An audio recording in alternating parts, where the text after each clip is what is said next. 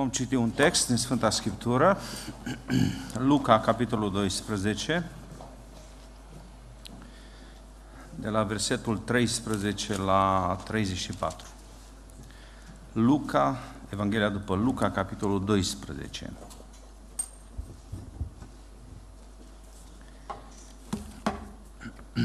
De la versetul 13. Unul din mulțime a zis lui Isus, Învățătorule, spune fratelui meu să împartă cu mine moștenirea noastră. Omule, i-a răspuns Iisus, cine m-a pus pe mine judecător sau împărțitor peste voi? Apoi le-a zis, vedeți și păziți-vă de orice fel de lăcomie de bani, căci viața cuiva nu stă în belșugul avuției lui. Și le-a spus pilda aceasta.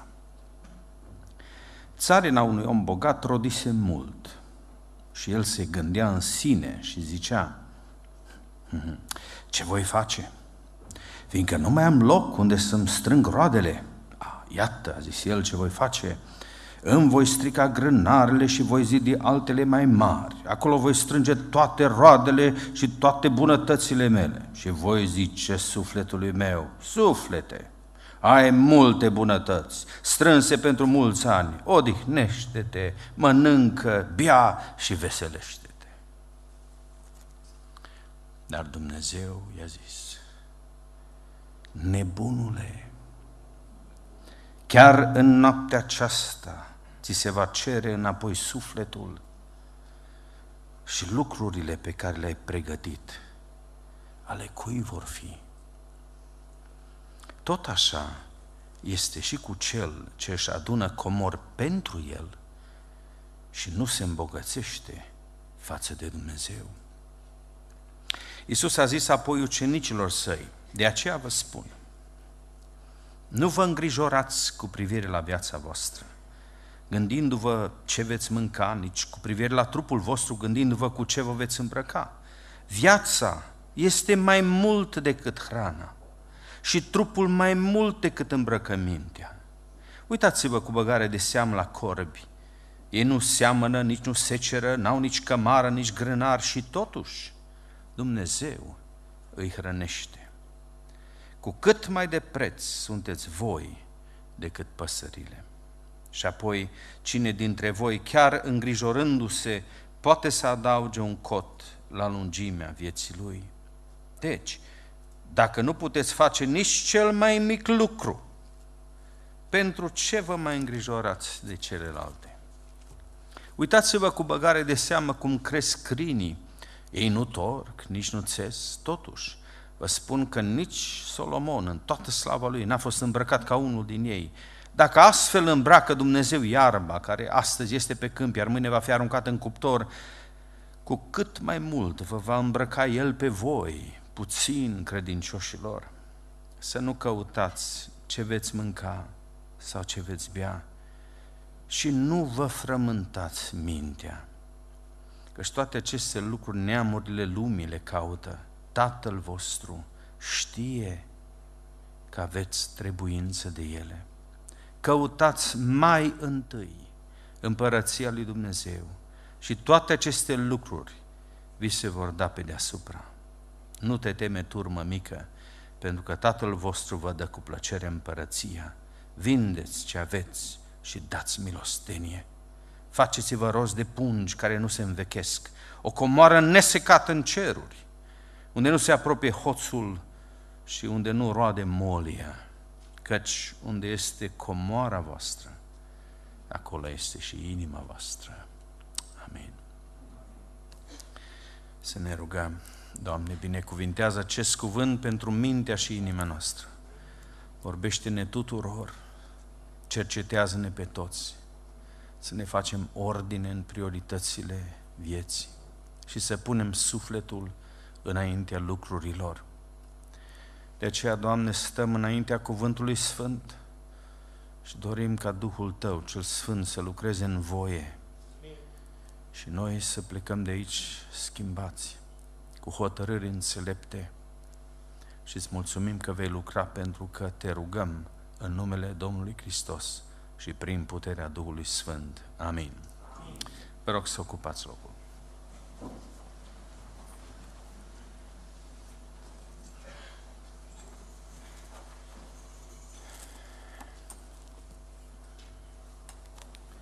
Mulțumesc Domnului că suntem din nou împreună după o lună, dar asta nu înseamnă că voi veni în fiecare lună.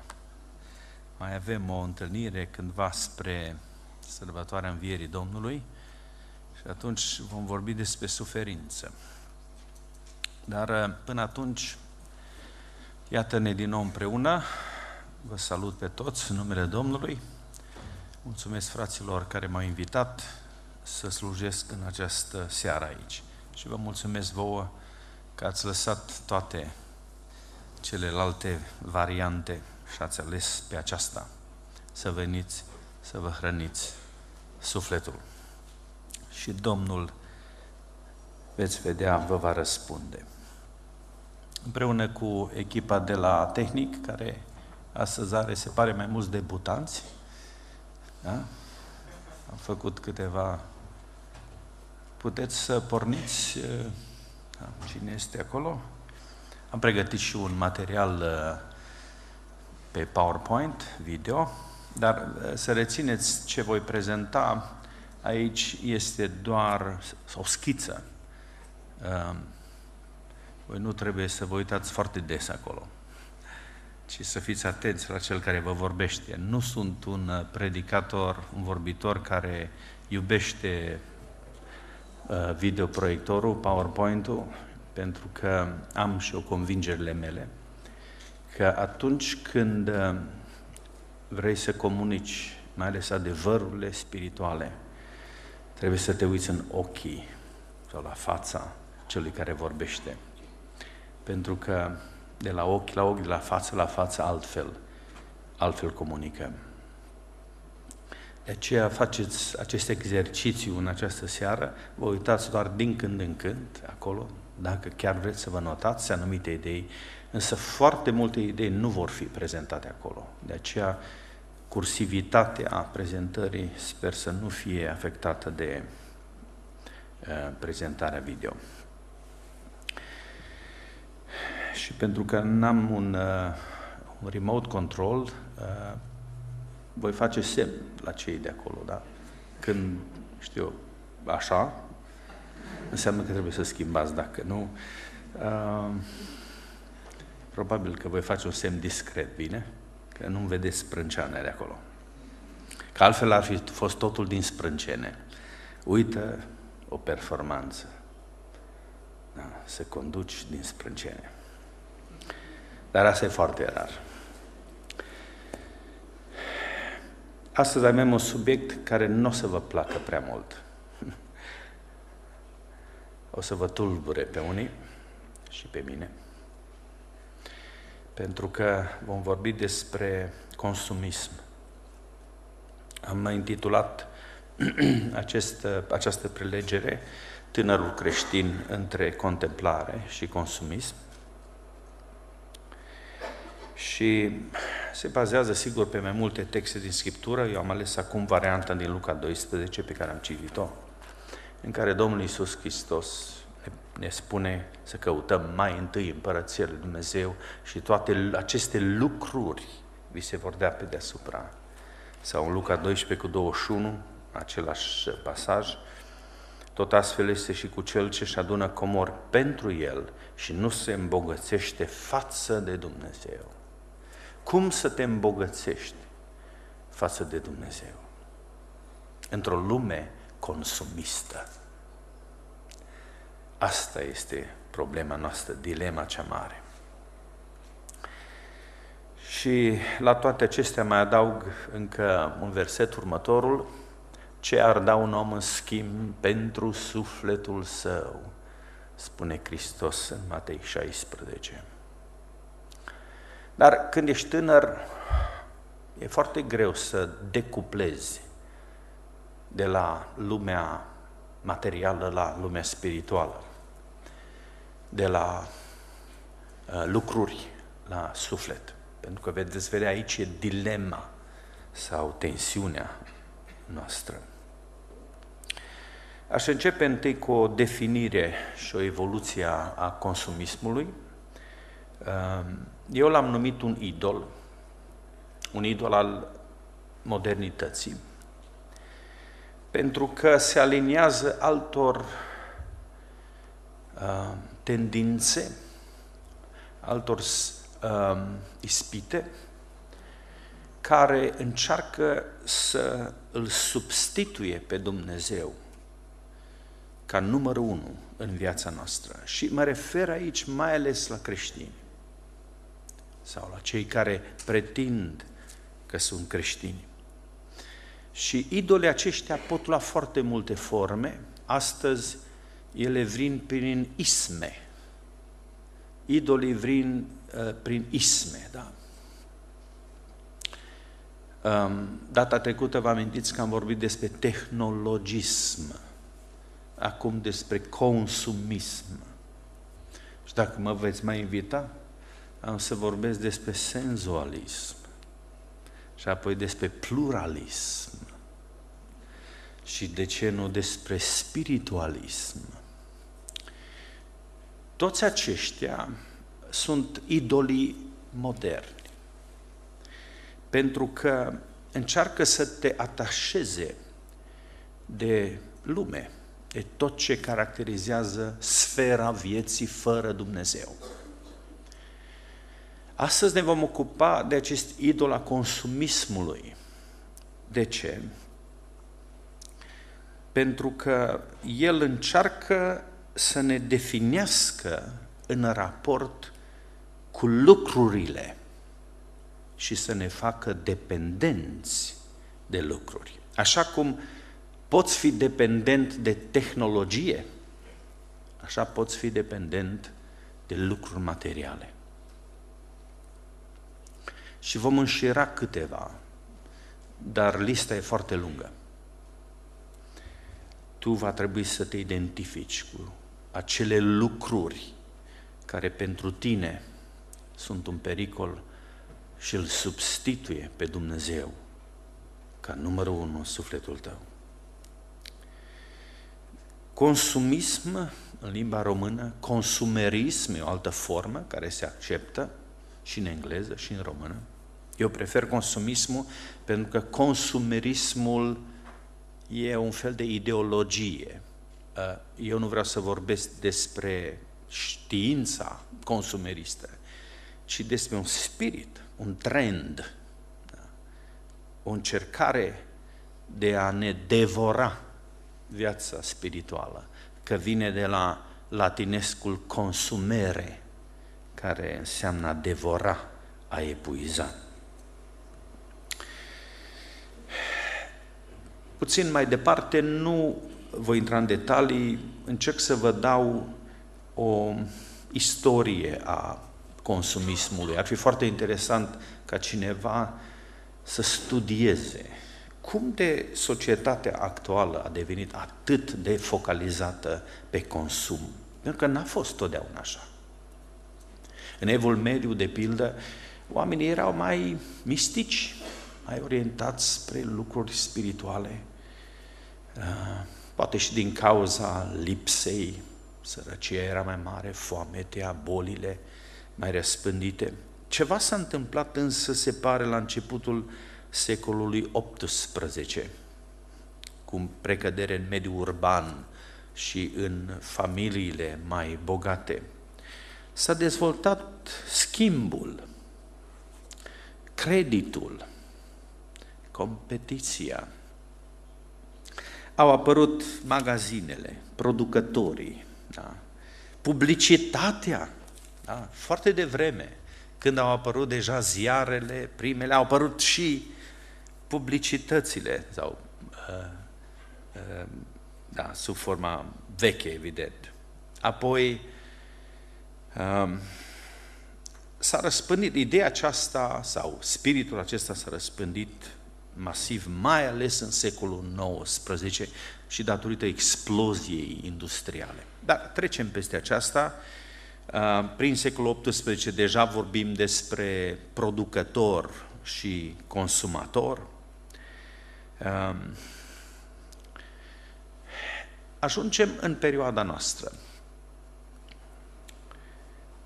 Consumismul are conotații pozitive în economie, dar negative când este aplicat vieții personale.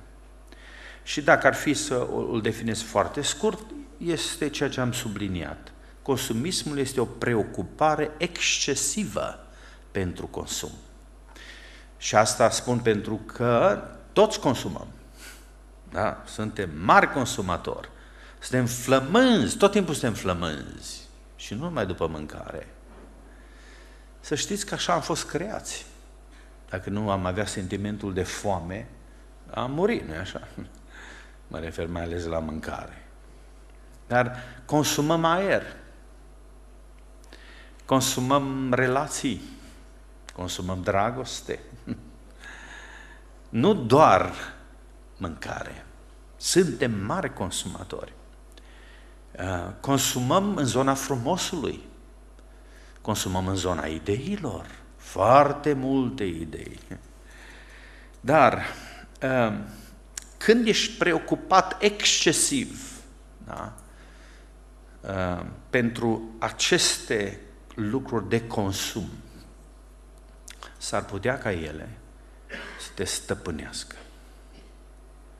Și ce, ce face consumismul este că îți dereglează echilibrul spiritual și te face să te îndrăgostești de lucruri, să-ți placă lucrurile. E, Doamne feri, deși expresia nu-i prea potrivită aici, să se atingă cineva de lucrul tău.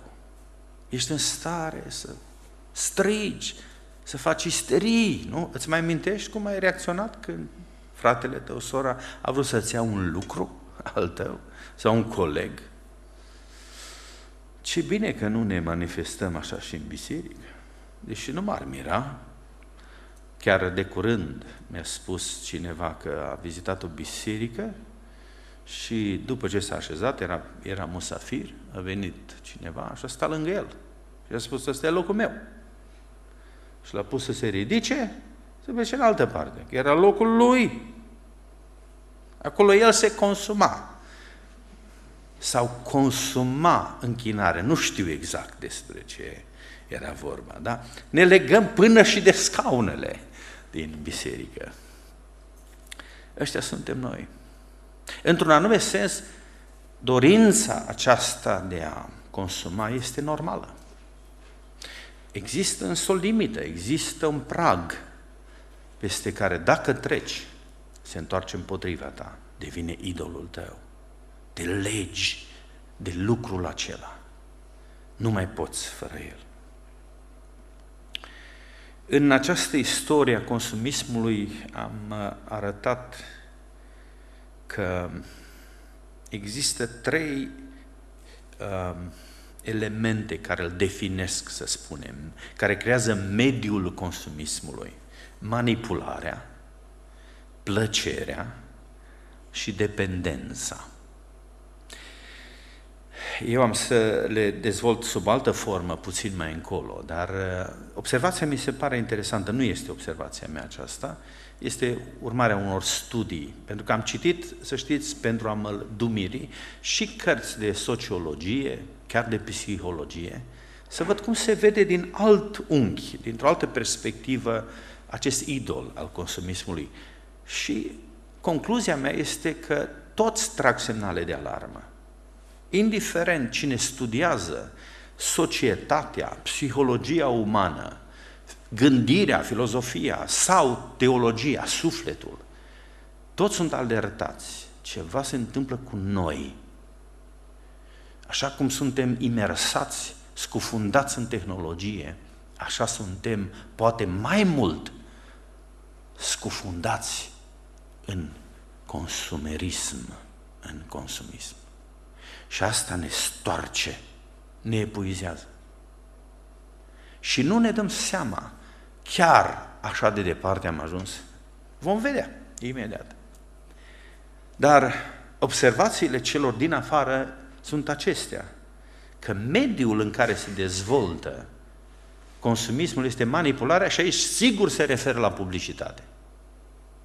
Știați că un studiu, de exemplu, uh, arăta în Statele Unite că un copil, când se uită la televizor, la, nu, nu se uită la filme sau la știri, la alte, uh, așa, ca, ca oamenii mari, ci se uită doar la emisiunile de copii, așa, mai curate, mai... În, într-un an de zile este expus la 40 de mii de uh, cum se spune, spoturi, spoturi publicitare. 40 de mii. Asta a fost în 2005. Cred că cifra a crescut. De, un copil. Dar noi, dar noi, până și mi-am instalat și eu pe Biblia, pe iPad, și acolo îmi trimit publicitate. Până și cei care lucrează cu lucruri mai duhovnicești. Nu pregetă să insereze o altă variantă. Vrei să o cumperi pe asta și pe asta. Hmm.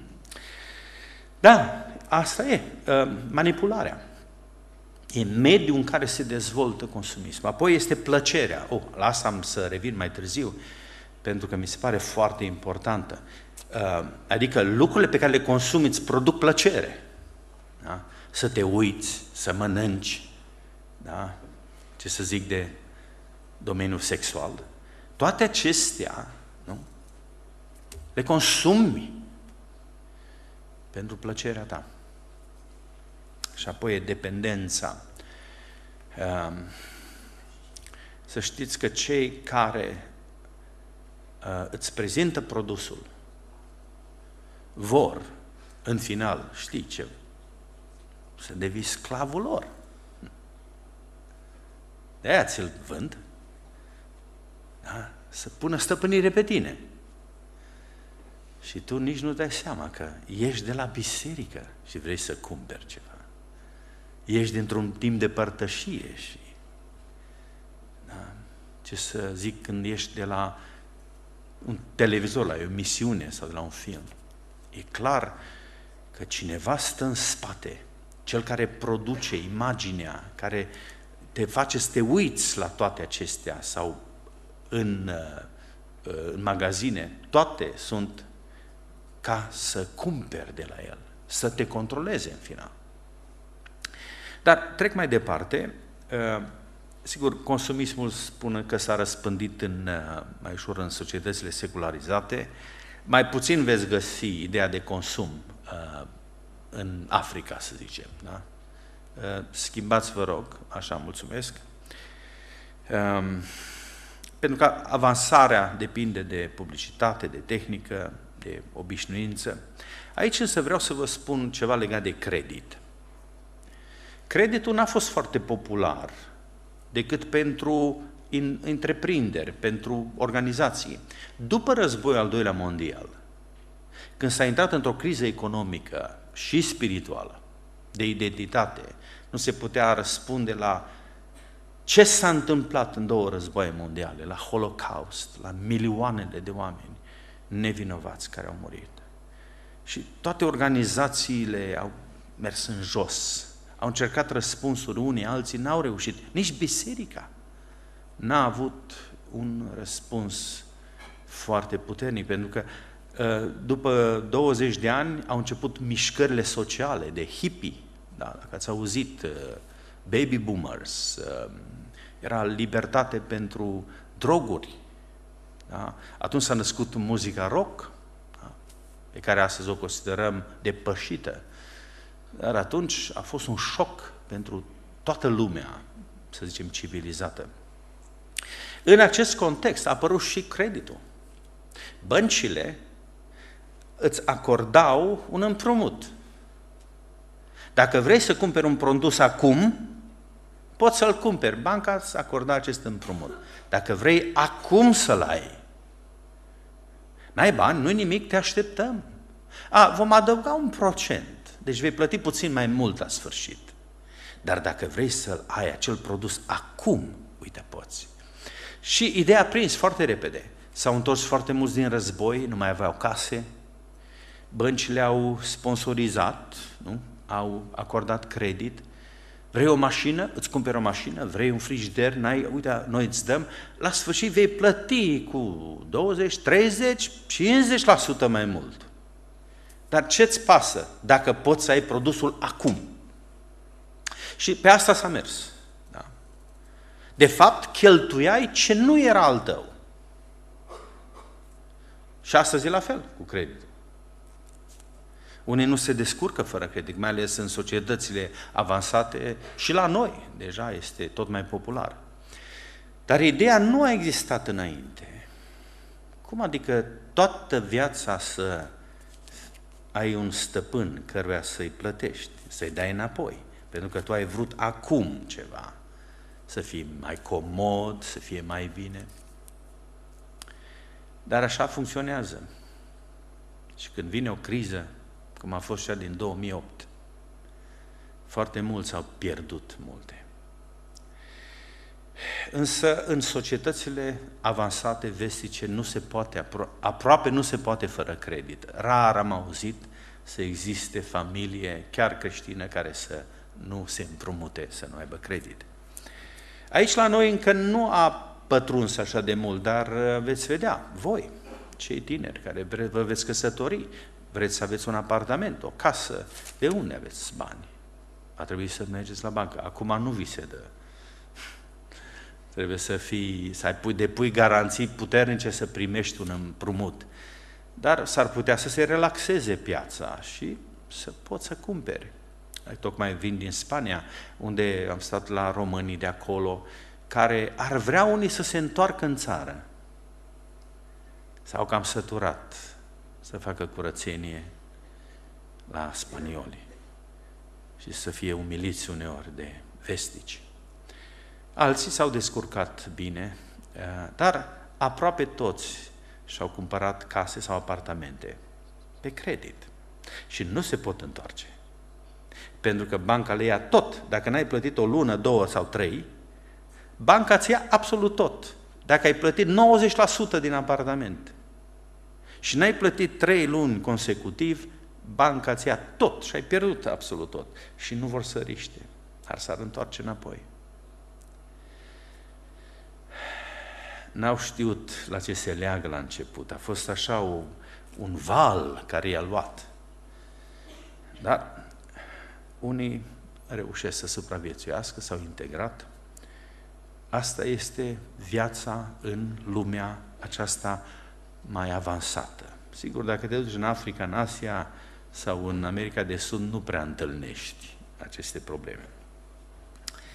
Uh, trec peste celelalte aspecte, v-am dat doar niște uh, uh, exemple. La următorul, motivele consumismului astăzi, um, și asta merită dezvoltat doar în număr. Întâi, este sentimentul de nemulțumire alimentat de spiritul competiției.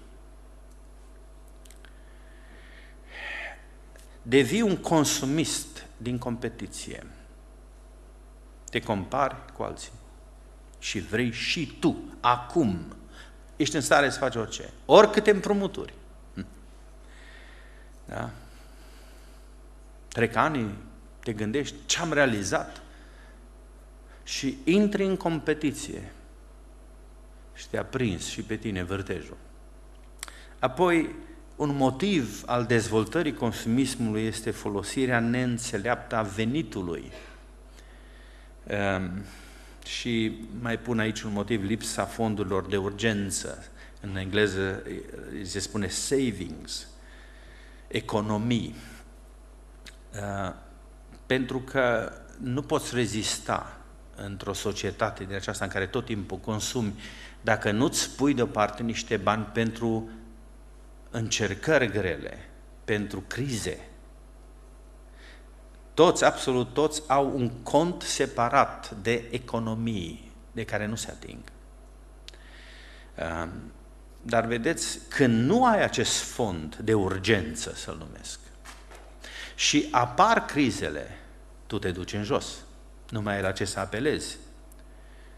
Și poți, unii și-au la viața, pentru că au pierdut tot. din acest motiv, pentru că nu știi lucrurile elementare dintr-o economie, dacă tot trăiești într-o țară avansată, posibil să te prindă această moară a consumismului. Um, să știți, mergem mai departe, um, o observație absolut normală că în societățile consumiste scade interesul pentru viață spirituală. Se vorbește despre trezire spirituală și tot ne rugăm pentru trezire și încântări și o punem peste tot. Trezirea, în primul rând, că vine de la Domnul, o dă când vrea El, nu când o programăm noi. Da, noi trebuie să ne rugăm, e adevărat.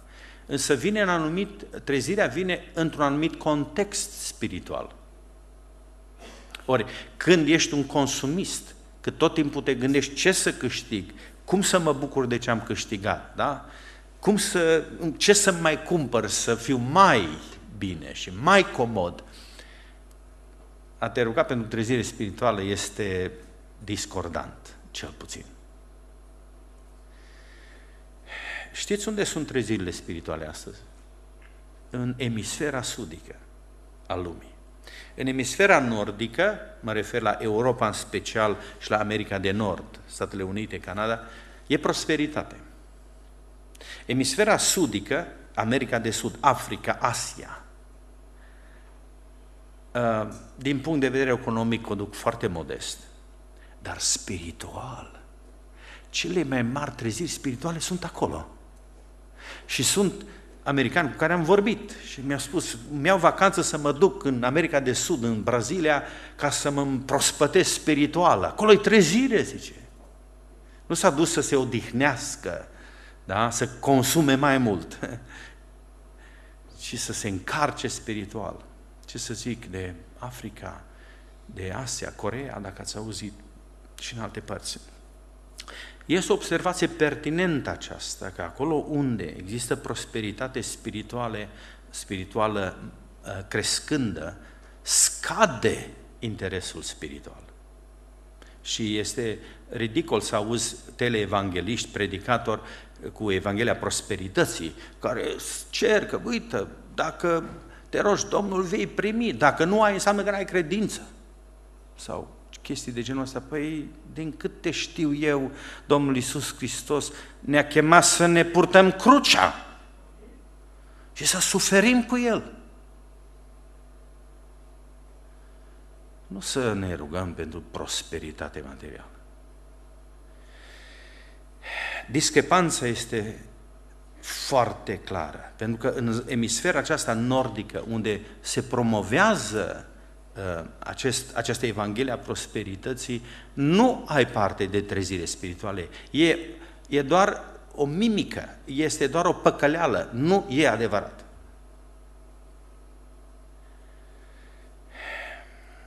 În istoria bisericii să știți că au fost mai multe mișcări spirituale, duhovnicești, care au încercat să se opună acestui spirit consumist pomenesc de puritani englezi aici, de pietiștii germani, care sunt strămoșii noștri ai evanghelicilor din România.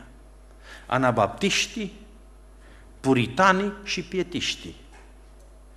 Ei sunt cei care au, ne-au pregătit terenul pentru mișcarea evanghelică de mai târziu, din secol, sfârșitul secolului XVIII și 19-20 apoi.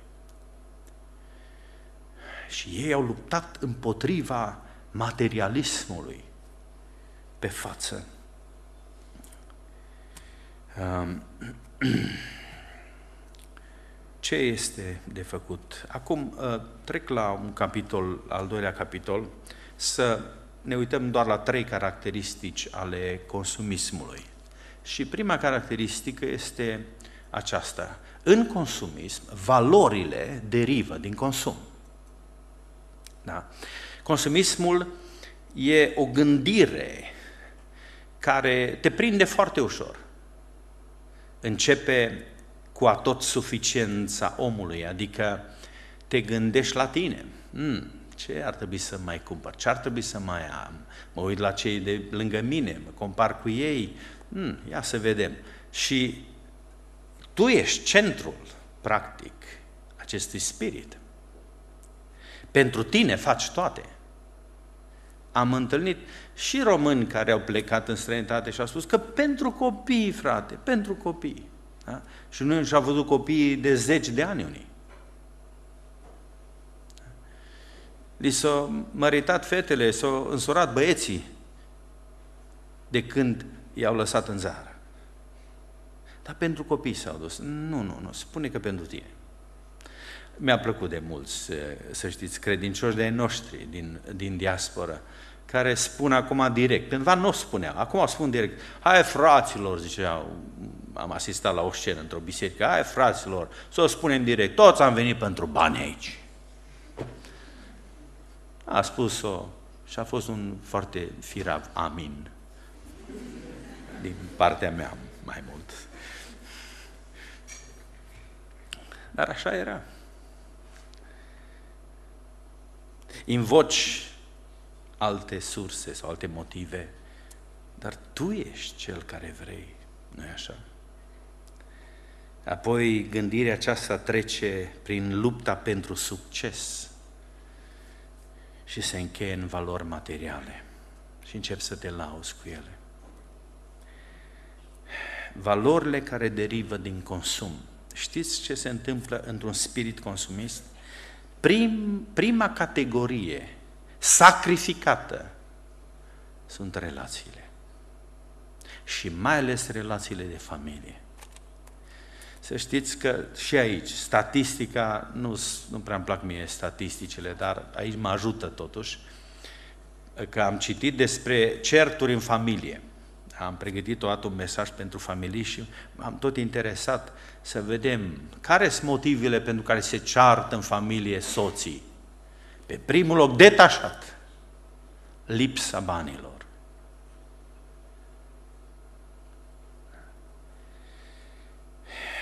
Și când ești într-o îmbibat, când înnoți într-o societate consumistă și te uiți și tu vrei să cumperi și, te, și asta vreau și a, a, eu pot să cumpăr numai atât, l-am văzut pe celălalt cumpărând mai mult și mai de bună calitate. Când acest lucru te conduce într-o zi pe față, vei vorbi cu ai tăi, te vei certa, îți vei exprima nemulțumirea, dar știți la ce mă refer mai mult aici când spun că relațiile au, adus, au ajuns produs de piață? La relațiile intime în familie. Uitați-vă la industria pornografică, la industria uh, publicitară. Aproape nu există publicitate da, care să nu insereze ceva pornografic, ceva cu tentă sexuală. Și scopul este să se treacă peste inhibiții, să fim liberi, să ne permitem orice. Asta e adevărata societate. La, la publicitatea aceea se uită copiii. Și te întreabă ce, ce a vrut să spună, ce cu aluzia aceea?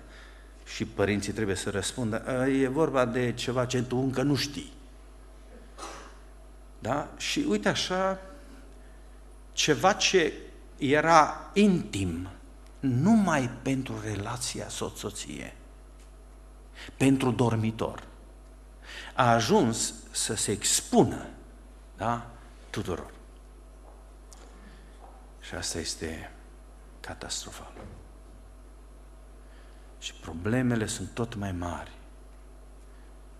și între părinți și copii și între soți. Pentru că atunci când se intră în zona aceasta și se dezvelește totul, aproape că te simți trădat. Zici că nu mai există nimic al tău, intim, ceva ce leagă relația. Și uite așa consumismul a pătruns în paturile noastre, în dormitoarele noastre, în dormitoarele copiilor. Asta e societatea de consum. Cu oricâte filtre îi pune, ceva tot scapă. Ce să mai vorbesc despre comoditatea pe care o căutăm toți. Până la un moment dat e normal să ai niște lucruri, să te obișnuiești cu ele, să te ajute, nu? Dar nu am trăit ca amiși. Ați auzit de amiși, de menoniți unii, care n-au nimic electric, ei spală toți, când termină mâncarea, toată lumea se duce la bucătărie și spală vasele cu mâna. Și toți se ajută, îmi spuneau cei din Canada, niște amiși care, eh, cu care am vorbit, că atunci când se căsătoresc doi tineri ei lor, toată comunitatea aceea au stabilește ziua în care se duc să le construiască casă. Și ridică în câteva zile toți ridică casă pentru cei tânăra pereche. Doar nu o mobilează. O ridică și restul le aparține lor. He, ce model, ce vremuri. Doar nu om trăi ca amiși. Noi suntem comozi, noi avem alte obiective, nu? Da. Trec mai departe că spun prea multe. Libertinismul este a doua caracteristică într-o societate consumistă. Uh, toată lumea vrea libertate și o, o, o definez greșit, evident. Libertatea este confundată cu libertinismul, adică să fii liber la orice, să ai acces liber la orice, să-ți pui părerea oricând, da? circulație liberă, totul să fie deschis liber. Într-un fel ne avantajează, dar, dar, încep să nu mai fie reguli, ați observat asta? Să poți accesa orice, să intre cine vrea în casa ta prin computerul tău. Să facă ce vrea acolo. Să cunoască tot despre tine. Dar ce mă intrigă poate mai mult este că acest spirit libertin, al libertinismului, a pătruns în biserică. Și închinarea se vede tot mai mult ca un produs. Da? O vindem sau nu o vindem? Ne uităm la ceilalți de la biserica cealaltă. Dom'le, ce se vinde acolo? Frate, spune-ne. De ce merg toți acolo? Păi vindem și noi. Asta trebuie, asta dăm. Da? Ce se vinde? Aia cu aia. Se vinde vindecare, vindem vindecare. Ce se vinde? Worship din asta așa, aia predici de aia. Am, am trăit acest sentiment deseori în biserici și mai ales la conducătorii bisericilor. Am văzut conducători de biserică stresați la Anvon. La Anvon trebuie să fii relaxat, să predici cuvântul, să fii, ai libertatea Duhului. Dar am văzut tensionați. Oare au ieșit bine? Am făcut bine, a făcut totul la timp, nu trebuia să schimb asta și cealaltă.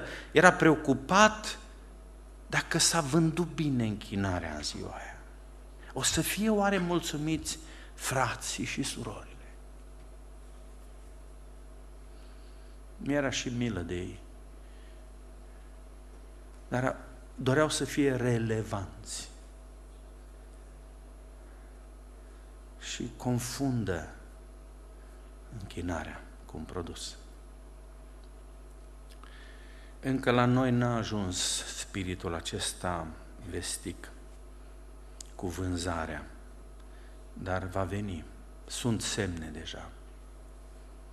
E foarte multă artificialitate atunci. Dispare originalitatea. Împrumutăm ce se vinde dincolo ca să putem vinde și noi aici. E ca era unul prin anii 80, cred, Jim Baker, care a condus un trust din ăsta mare, o televiziune mare, a făcut un parc creștin, Heritage Park. Era hotel creștin.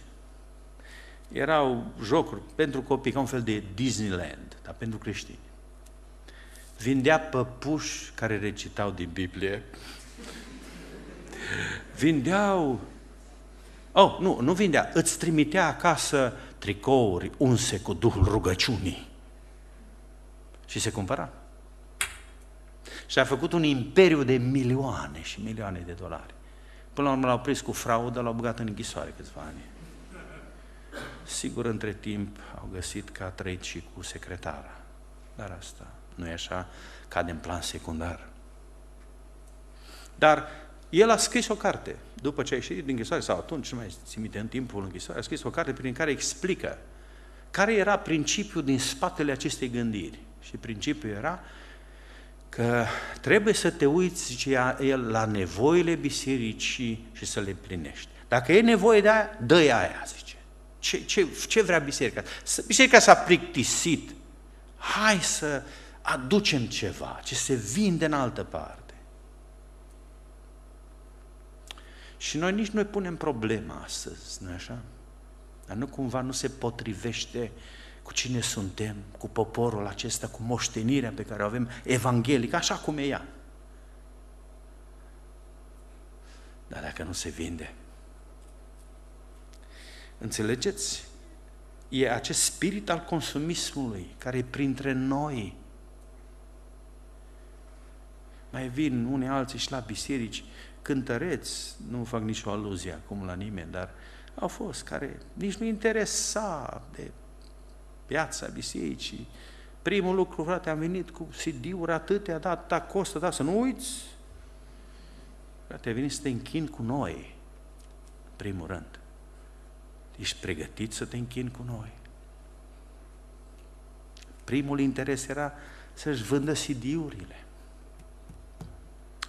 Și alte și alte exemple neplăcute. Sigur, pot să le pui în categoria excepțiilor. Posibil. Dar vedeți, asta devine o problemă într-o societate consumistă. Biserica trebuie să se păzească de acest spirit. Dacă nu o facem la timp, dacă nu o facem noi, voi, biserica va deveni o piață de desfacere.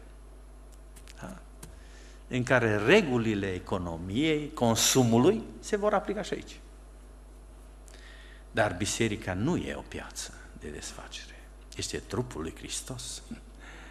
Ce avem de făcut? Mai aveam încă a treilea, a treia caracteristică a consumismului este plăcerea imediată. În, în, în, în consumerism, funcționează motoul acela, trăiește clipa, carpe diem. Trăiește clipa. Acum, acum o trăiești, da? Nu știi ce va duce ziua de mâine. Focalizarea este pe prezent și nu pe trecut sau viitor. Și afirm eu aici ceva important. A trăi pentru tine. Asta e, asta e scopul consum, consumismului. Să trăiești pentru tine, nu pentru predecesori sau posteritate. Când veți găsi gânduri, ideile acestea, că lasă trecutul, fiecare cu viața lui, fiecare cu a lui. Când veți găsi aceste gânduri, sau îi veți găsi pe cei care vă spune, nu ne interesează cei care vin după noi, acum noi rezolvăm problema, acum. Înseamnă că e un spirit consumist pentru că vrea o satisfacție pe moment. Ori, biserica sau viața ta nu este trăită doar acum. Tu moștenești ceva.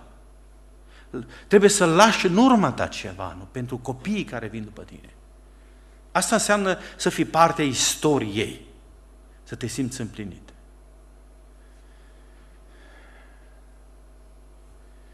Sună ca pornografia, care privește oamenii ca lucruri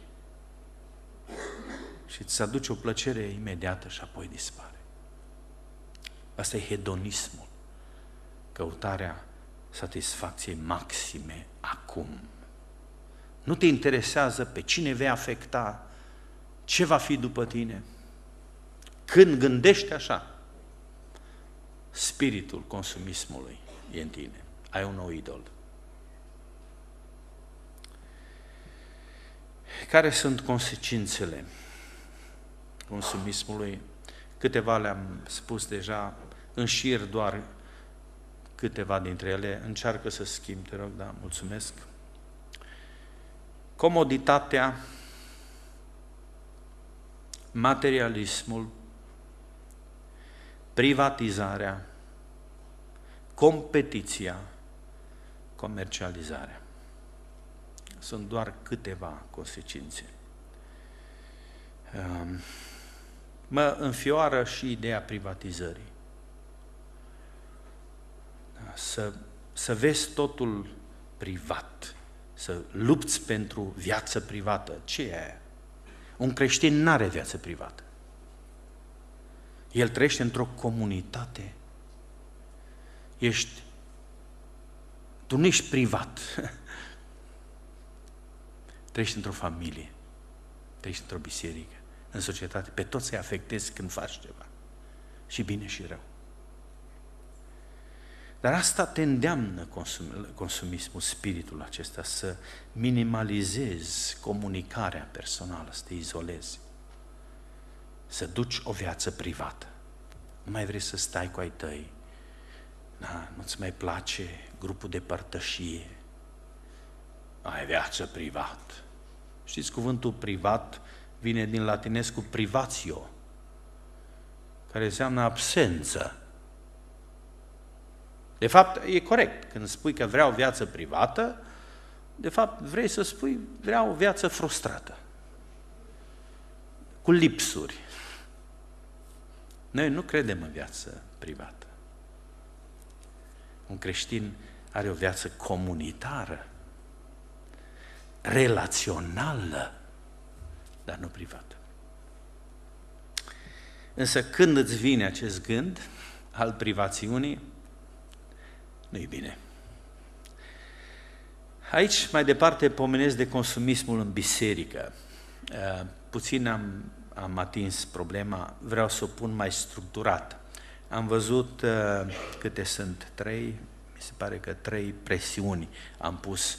Uh, trei presiuni asupra bisericii astăzi. Presiunea relevanței, în primul rând am pomenit de faptul că tot mai mult se merge spre biserică ca la o comunitate da, în care să funcționeze legile pieții. Um, ați auzit în limba engleză sau uh, erau și abțibilduri, uh, am văzut în America cu uh, sloganul acesta Name it and claim it. Da? Ceva de genul numește-l și pretinde-l. Da, ceva de genul acesta. Adică, nu, rețineți, nu se aplică în domeniul material, în cel spiritual. Și sloganul intră în biserică. Și auziți, aceștia sunt cei care cu proclamările, cu pretențiile, Doamne, Tu ai spus, eu pretind pe baza promisiunii Tale, da, iau versete de aici, de acolo, își formează așa o teologie din asta uh, uh, triumfalistă care îl ispitește pe Dumnezeu.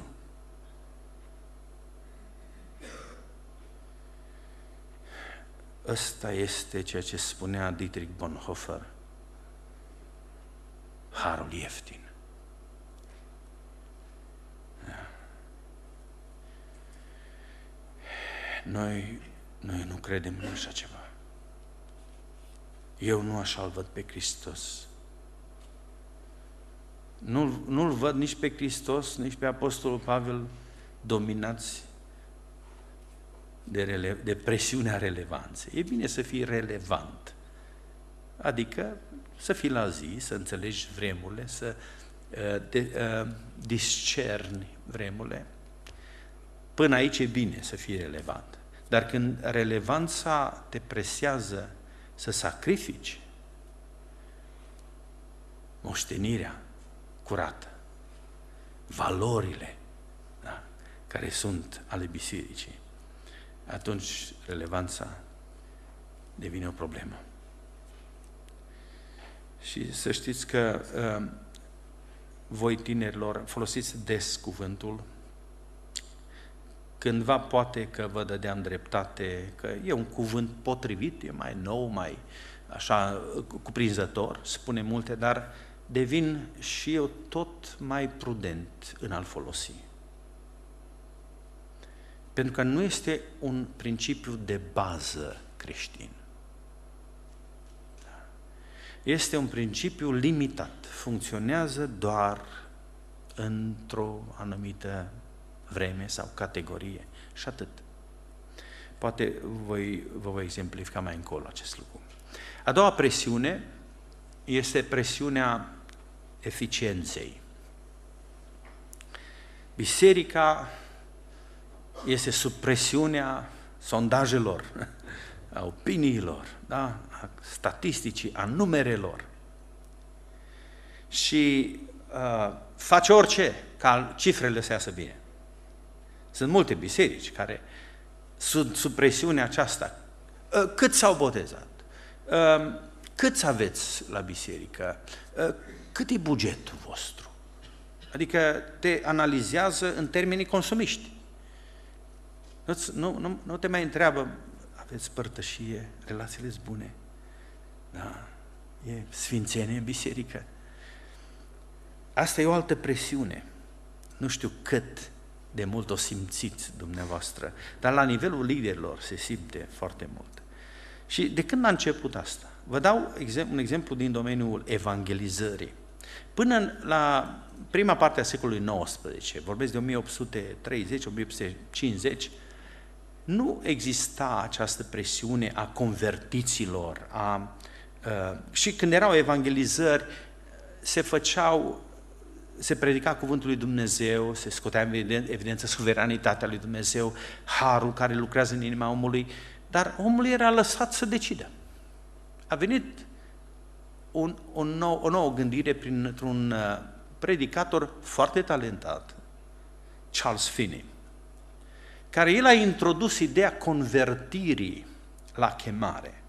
El a fost cel care a promovat venirea în față.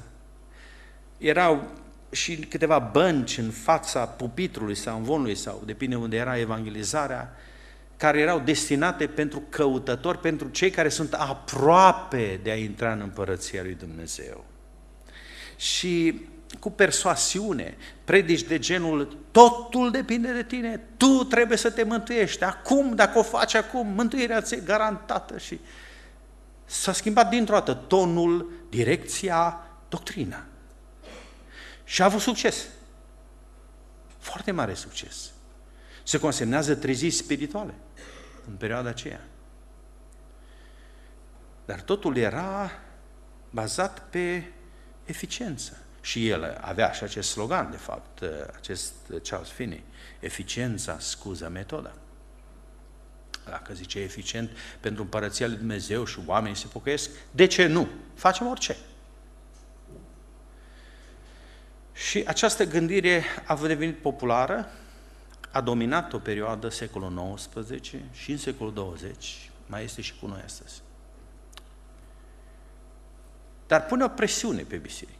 Și ce dacă în biserica ta nu sunt atâtea rezultate și ca în alte părți? Aia nu mai e biserică? Și sunt credincioși care pleacă din bisericile lor pentru că statistica arată rău. Nu stau să lupte da, cu credincioșie, să stea și când e greu. A, lasă, lasă biserica, se duce, caută altă shopping.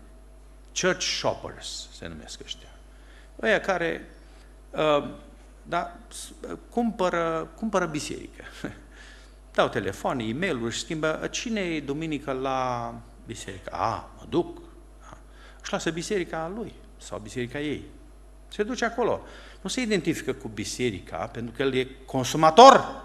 El uh, trebuie să aibă plăcere, satisfacție când se duce undeva să meargă și să spună, da, da, da, nota șapte.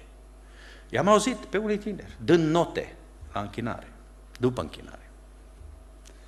E o gândire străină de noi. Înțelegeți? Pentru că tu confunzi biserica cu o piață, piață de desfacere. Să comercializeze Evanghelia, să te folosești de slogane, de publicitate, de diverse personalități, să-i duci încoace încolo. Mi se pare că semănăm prea mult cu lumea. Aici, da. Ne e frică că semănăm că fetele umblă cu fuste nu știu cum, că băieții nu știu cum au părul, că toată lumea, că are cercel, că n-are... Astea sunt problemele celor mai mulți predicatori, să nu zic altfel. Dar nu aici văd eu problema. Uitați, uitați, o problemă foarte mare. Ce facem cu consumismul în biserică? Pătrunde peste tot. Nu-l vedem? Sau ne facem că nu-l vedem? Asta mi se pare că e ceva serios. Problema pornografiei, foarte serioasă. Problema religiei simțurilor transmite prin cântări, probleme mari. Și noi ne ocupăm de mărar, de chimen. Și uităm cele mai însemnate lucruri din lege. Mila, dreptatea și credincioșia.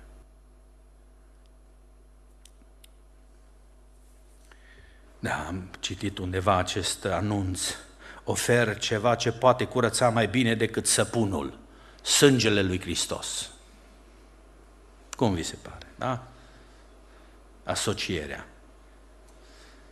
Era la intrarea la o biserică, să te atragă să mergi, să ai parte de sângele Domnului. Aici ajungem. Mai am încă a treia presiune, presiunea sincretismului, nu voi sta asupra ei, dar vreau să subliniez doar că sincretismul înseamnă amestecarea uh, ideilor religioase, renunțarea la identitate și împrumutarea altor idei de la toate religiile. Toți sunt buni, luăm de la fiecare ceva și hai să fim toți la fel. Și presiunea aceasta e foarte puternică astăzi pe biserică. Da? E ca și cum zici, mă duc la mall. Da, molul e al meu, uite, e al meu, aici pot cumpăra orice, toți sunt buni, că toți sunt la mall. Așa văd unii biserica. A, în biserică toți sunt buni, hai, renunțăm la specificul nostru, uh, grămadă, așa, să, să fie bine, să dăm note. Asta, acesta este un rezultat al consumismului. Astăzi. Când sacrifici credința, ce crezi tu, ce ai moștenit tu, de dragul eficienței, relevanței, unificării, sincretismului. Și acum mi-a spus cineva odată, rate, nu uita, credința trece prin stomac. A vrut să-mi spună că banul e cel care decide, nu uita, frate, așa să te orientezi în viață. Foarte frumos, nu? Pentru un creștin. Crezi în asta? S-ar putea.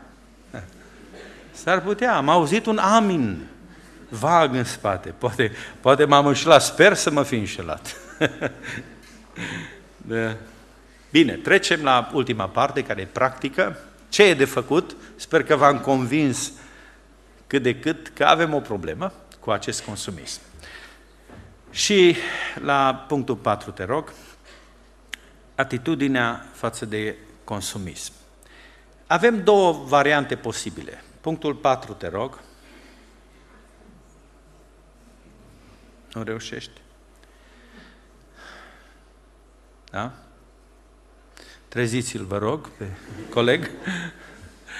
Punctul 4. Uh, unii propun uh, un model așa numit a bisericii în exil. Asta ce înseamnă?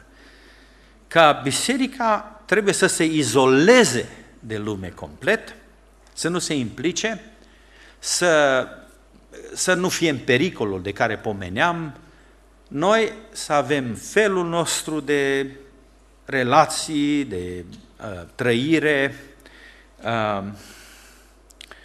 și sunt mai multe exemple aici, nu, nu vi le pot da pe toate. Unii chiar uh, merg pe ideile din uh, pilda fiului risipitor, vă amintiți? Uh, când fiul s-a plecat de acasă și tatăl nu s-a dus după fiul risipitor. Ei asta văd. Tatăl l-a așteptat acasă. Uitați, spune, ăsta e model pentru biserică. Biserica să aștepte întoarcerea lumii către ea. Noi stăm, aici suntem, dacă lumea are nevoie de noi, suntem aici. Ah, mi se pare că e un model extrem de fragil, nu are niciun suport practic în Biblie și nici în modelul lui Hristos. Al doilea model este modelul bisericii în acțiune. Da? Treci, te rog, mai departe. Biserica în acțiune. Și acesta e modelul, evident, pe care uh, noi îl propunem uh, și în care credem uh, biserica, noi, că suntem sare și lumină, trebuie să interacționăm critic cu cultura, cu secularismul. Nu, nu să te retragi, ci să te implici. Așa a făcut Hristos, așa au făcut apostolii. Dar uh, uh, fără să sacrificăm adevărul, Evanghelia. Da? Noi credem că uh, Evanghelia este soluția pentru lume și pentru mântuirea oamenilor pentru viitor. De aceea, aceasta este poziția noastră. Mai departe, te rog, la, în concluzie, noi nu putem evita societatea de consum. Toți trăim în ea, dar putem evita identificarea cu ea. Uh, și testul aici este să trecem plin de pace prin lume, fără a ne închina acestui idol. Da. Pentru aceasta uh, am două seturi de principii. Întâi, trei principii spirituale dominante și iată care sunt acestea, principiile spirituale. Întâi de toate, recunoaște suveranitatea lui Dumnezeu în detaliile vieții tale. Te rog, treci mai departe. Mulțumesc. Recunoaște suveranitatea lui Dumnezeu în detaliile vieții tale. Dumnezeu este Cel care a creat, Dumnezeu este Cel care guvernează, Dumnezeu îngrijește lumea aceasta, așa cum am citit cuvintele Domnului Iisus Hristos. De ce te îngrijorezi? Dacă faci o simplă observație la natură, la lumea animală, spune Domnul Isus, vei vedea că Dumnezeu are grijă de toți și de păsări și de crini. Cum? Nu va avea grijă de tine? Da? Deci în lumea aceasta recunoaște că Dumnezeu e suveran și că are grijă de lumea aceasta și are grijă și de tine și că n-am văzut pe cel neprihănit cerșindu-și pâinea. Ăsta e principiul guvernant. Al doilea principiu, treci te rog la numărul 2.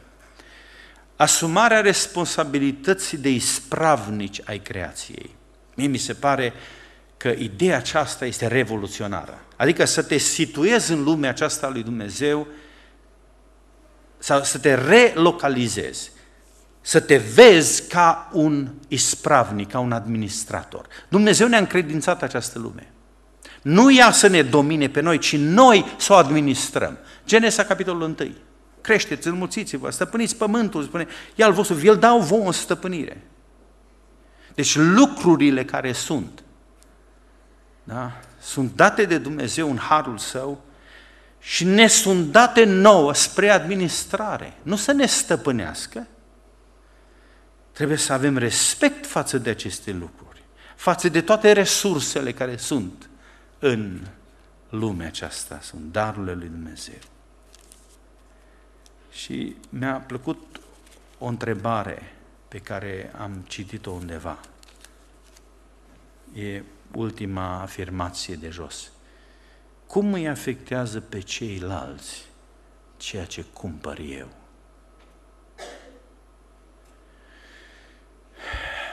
Nu ne gândim niciodată când cumpărăm, când consumăm ceea ce voi cumpăra eu. Cum îi va afecta pe cei de lângă mine? Și aici toți trebuie să plecăm capul jos. Noi ne, plâng, noi, noi ne plângem că nu avem ca alții. Pentru că călătorim prin Europa și vedem bunăstarea în alte țări. Oh, și vai cum e la noi. Dar ea a încercat în alt, cealaltă direcție. Și călătoriți în alte părți. Am fost în Siberia, cu mai mulți ani în urmă. Am fost în Thailanda și în alte părți, dar comparația e aproape inexistentă. Avem foarte multe. Avem tot ce ne trebuie. Deja noi trebuie să ne punem problema, oare ceea ce cumpără am nevoie acum? Nu cumva aș putea ajuta pe altcineva cu surplusul meu. E ca și cum țin minte în perioada comunistă nouă ne era tare greu, aveam atunci șase copii mici, greu era. N-am mâncat fructe exotice, cred, niciodată. Ciocolata o vedeau foarte rar.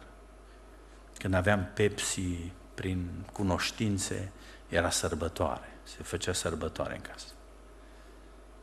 Da. Stăteai la coadă de la 4-5 dimineața pentru 2 litri de lapte.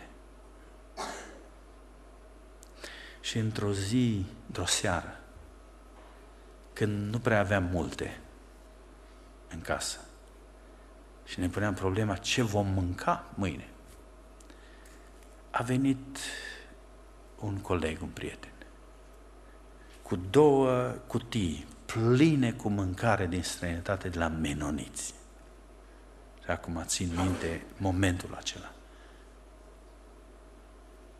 A fost reper pentru noi. Dumnezeu a ascultat câteva rugăciuni așa firave ale noastre, dar peste toate acestea altceva am înțeles, că există creștini în lumea aceasta care se gândesc la alții, la noi.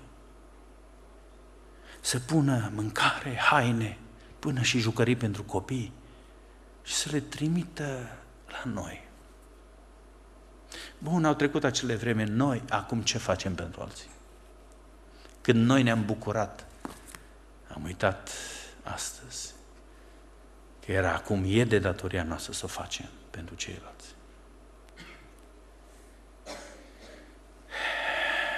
Și al treilea gând aici, ca principiu, dacă este să consum ceva, consumă cuvântul lui Dumnezeu, așa cum Ezechiel, capitolul 3, spune că a mâncat sulul acela pe care l-a dat Domnul, cuvintele. Simbolic, e adevărat, dar ideea este că dacă vei consuma cuvântul, vei fi eliberat de spiritul consumismului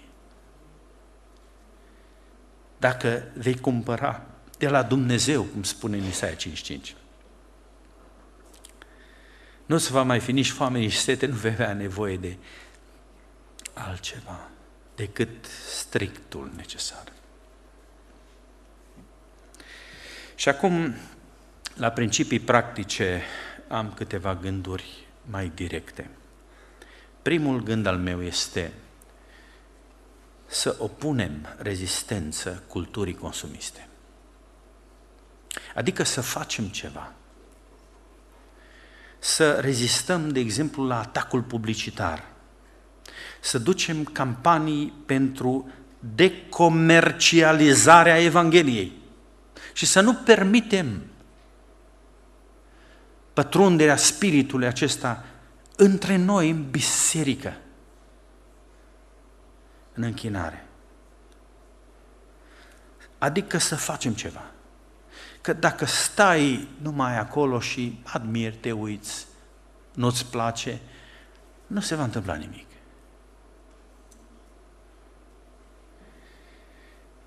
În al doilea rând, disciplina contemplării.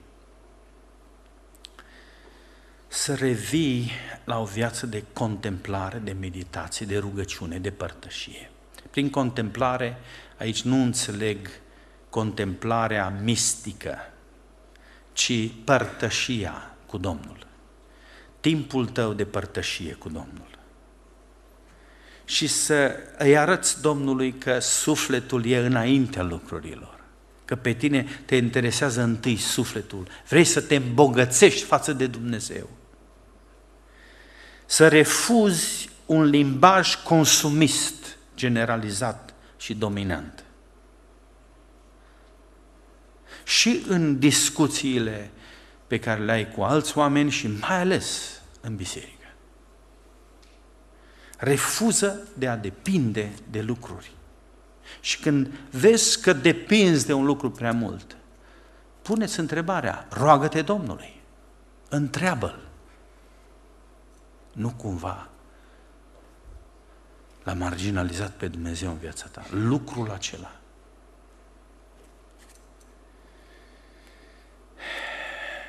Pro, promovez sau vă încurajez a redescoperi părtășia.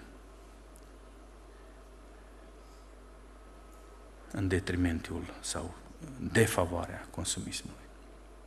3. Asumați un stil de viață moderat și mulțumitor. Cum a făcut Isus și apostolii? Un stil de viață moderat și mulțumitor. Am fost odată în America în casa unui prieten. Ne-am bucurat.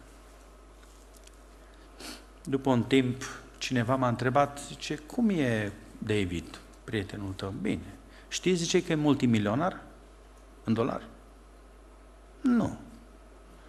Am fost la el acasă, n-am văzut nimic excesiv, extravagant, opulent. Trăia ca ceilalți mânca ca ceilalți. Se bucura, hainele, nici, încă și acum ții minte că era niște blugi, gata să-i cumpăr eu o altă pereche. Uh, un tricou foarte modest, uh, dar, dar, sponsoriza o lucrare de la Wheaton College. De, cred că au trecut deja vreo 15 ani care dăruia pentru ca lucrătorii români ruși din Europa de răsărit și din Africa să meargă șase săptămâni să studieze în biblioteca de acolo a școlii. Și el era unul care participa și dădea. Și apoi îi strângea la conferințe. Dar trăia o viață moderată și mulțumitoare. Se poate. Asta e înțelepciunea, nu? Și dacă ai, să știi ce faci cu surplusul. Pentru că asta a fost problema acestui bogat căruia Dumnezeu i-a dat mai mult. Ați sesizat? Pe el era bogat și spune că țarina lui, lui a prosperat. Și când s-a văzut cu mai multe, acest bogat, în loc să zică, Domnul mi-a dat în plus, vreau să dăruiesc altora, că eu am destul, s-a gândit, ha, ia să-mi fac niște hambare noi să am mai mult, sau pe să zic sufletului meu, acum veselește-te, bea, dezmăț. Și noaptea aceea Dumnezeu l-a vizitat și a spus, nebunule, s-a încheiat. Dai socoteală de viața ta. De ce? M-am întrebat, de ce i-a dat Dumnezeu mai mult celui care avea? Să-l testeze. S-ar putea ca Dumnezeu să-ți dea mai mult surplus, bonus, ca să te pună la încercare, să vadă ce vei face tu cu surplusul. E un test spiritual. Acel bogat a căzut la test. Și Iisus trage concluzia care e scopul vieții? Să te îmbogățești față de Dumnezeu. Asumă-ți așadar un stil de viață moderat, fii mulțumitor pentru toate lucrurile, cum spunea Pavel, știu să trăiesc în belșug, știu să trăiesc în sărăcie, pot totul în Hristos care mă întărește. Și care ar fi un moto pe care să-l pui pe frigider? Vreau să devin mai mult, nu să am mai mult. A deveni mai mult, nu a avea mai mult. Acesta ar trebui să-ți fie scopul. A patrulea gând practic. Practică dărnicia și milostenia cât mai mult. Nu doar să beneficiezi de ocazii care s-au ivit, ci să creezi ocazii. Aici este secretul dărniciei și milosteniei. Milostenia este, sigur, când vezi pe cineva, s-a ivit o ocazie, îi dai, ești milos. Dărnicia este când tu creezi ocazii. Când tu vrei să dai, când îți planifici să dai, ca să-ți liniștești sufletul. Și știți cartea lui Nicolae Steinhardt, dăruind vei dobândi. Frumos adunat într-o expresie gândirea lui Hristos. De aceea practică zeciuiala, onorează ziua de odihnă, ziua Domnului, ajută pe săraci. Sunt oportunități. Asta înseamnă să faci ceva. Și mi-am notat aici Proverbe, capitolul 15, vă citesc eu, versetul 16 și 17, uh, Proverbe 15, uh, trei versete sunt. Mai bine puțin cu frică de Domnul decât o mare bogăție cu tulburare. Mai bine un prânz de verdețuri și dragoste decât un bou îngreșat și ură. Foarte frumos. Proverbe 15, 16 și 17. Încă un gând ultimul este acesta, transformarea dorințelor. Toți avem dorințe, nevoi. Am vrea să avem, să ne bucurăm de lucruri. Dumnezeu nu ne oprește la aceasta. Dacă a pus Dumnezeu dorința în noi, înseamnă că e bună. Noi îi punem limite. Ce pune limite cu adevărat? Și aici trebuie să treci printr-o transformare. Și primul gând este să recunoști dacă depinzi de lucruri. Făți o cercetare a vieții tale și ia, gândește-te, de ce ești cel mai legat? De chitara aceea? Da? De iPad-ul acesta, plin cu schițe de predici. L-ați vrea unii dintre voi. Depinzi de mașina de afară, depinzi de ce?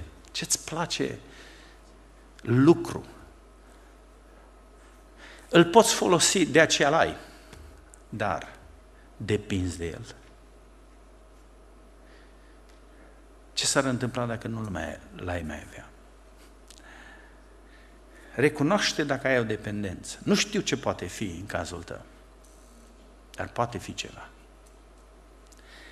Apoi, cere puterea Duhului Sfânt peste tine ca să-ți transforme pasiunile. Posibil să pui pasiune în ceva ce nu rămâne. Ai nevoie de o putere nouă să-ți schimbe direcția pasiunii. Că s-ar putea să pui pasiune în lucruri, de exemplu în haine fetelor, în make-up, parfumuri. Băieți, ce să zic, lucruri.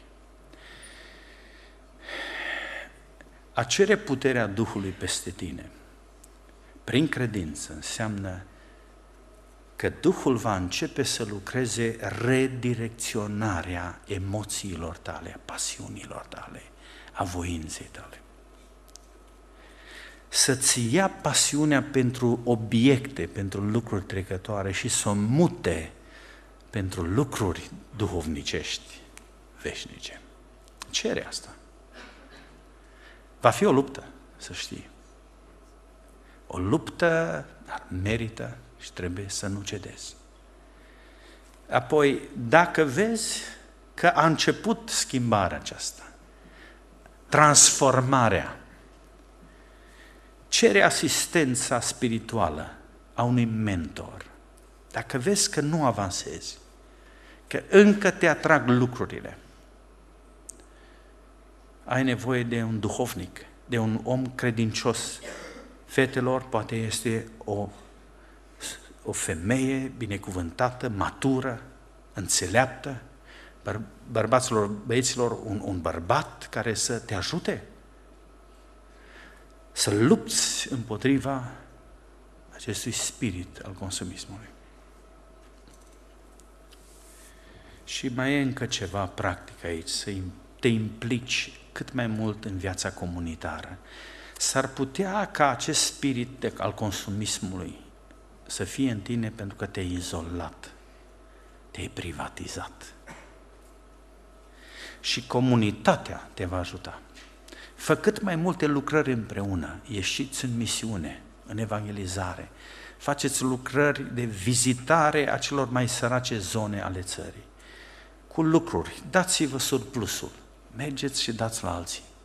Învățați să dăruiți, că este mai ferice să dai decât să primești. Și în concluzia mesajului meu, uh, nu poți sluji la doi stăpâni, spune Domnul nostru Iisus Hristos. Ce trebuie să prețuiești mai mult, zice Pavel, sunt lucrurile care nu se văd, nu cele trecătoare. De aceea raportează-te la lucrurile de sus, nu la cele de pe pământ. Coloseni, capitolul 3, versetul 1. Trăiește mai mult prin credință și nu prin vedere sau prin atingere. Da, s-ar putea să nu ai tot ce ți-ai dorit. Nu e nicio dramă. Dacă ai lucrurile de sus în tine și pacea lui Hristos și treci prin credință, va fi bine de tine. S-ar putea ca atunci când ai foarte multe lucruri, să nu mai trăiești prin credință. Ați văzut astfel de tineri care n-au, ți se pare că n-au nicio problemă, au tot ce le trebuie. Se lăfăie așa de, de toate. Și poate ești invidios.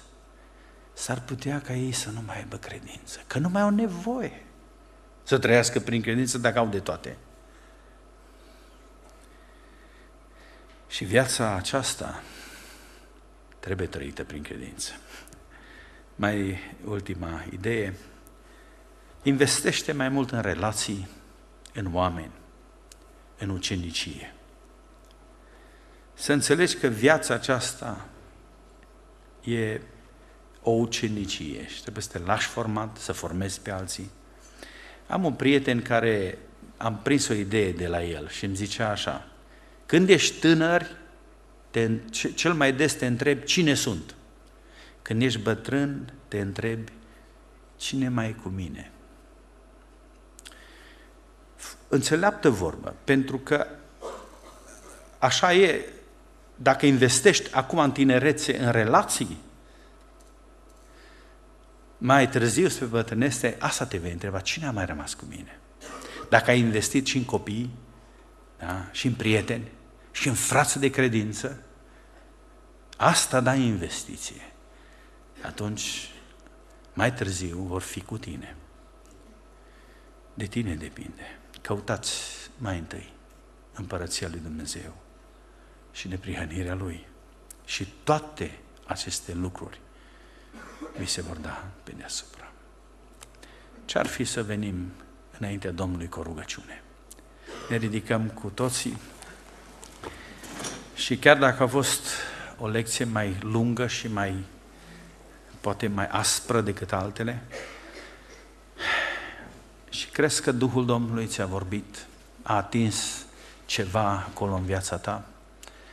Vino înaintea Domnului, roagă-te Lui, pune-i problema, cere puterea Duhului Sfânt în viața ta.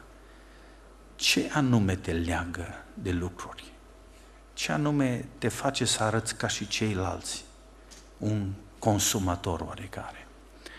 Ne vom ruga Domnului fiecare pentru el într-o rugăciune comună și apoi am să închei cu o rugăciune înainte de a pleca. Să ne rugăm.